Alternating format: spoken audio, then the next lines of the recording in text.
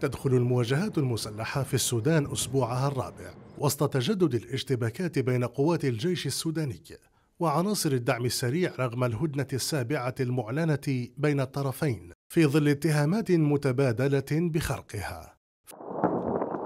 في العاصمة الخرطوم حلقت طائرات تابعة للجيش وشنت ضربات جوية في حي الرياض وسمعت أصوات أسلحة ثقيلة تزامنا مع تصاعد أعمدة الدخان في مواقع مختلفة جنوب الخرطوم بحري كما دوت انفجارات عنيفة في محيط القصر الرئاسي.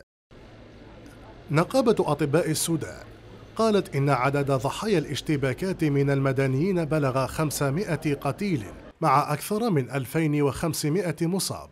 لافتة إلى أن الكثير من المستشفيات والمرافق الصحية في العديد من المدن باتت خارج الخدمة. في الجانب الآخر من البحر الأحمر تستضيف مدينة جدة السعودية محادثات هي الأولى منذ اندلاع الأزمة يشارك فيها ممثلون عن الجيش وقوات الدعم السريع وتؤشر التصريحات الصادرة عن الجانبين إلى تباين في أهداف المشاركة في المحادثات فالجيش السوداني يركز على انسحاب قوات الدعم السريع مما يعتبرها مواقع وسط مناطق سكنية ومرافق حيوية ويتهمها باتخاذ المدنيين دروعا بشرية. وقد شدد المتحدث باسم الجيش على أن وفد القوات المسلحة. ذهب إلى جدة ليناقش موضوع الهدنة دون التطرق إلى اتفاق نهائي. بينما تركز قوات الدعم السريع على انتقال المحادثات إلى مستوى سياسي.